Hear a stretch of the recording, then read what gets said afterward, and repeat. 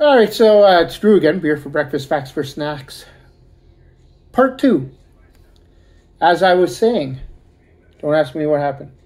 Try to read something up. Um, this is not a juicy IPA. It's an IPA. It's a very good IPA, but it's not a juicy IPA.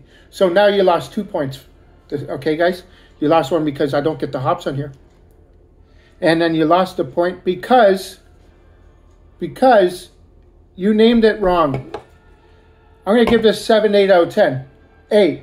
Realistically, this is probably 8, 3 if you named it right and you put the hops on there. It is what it is.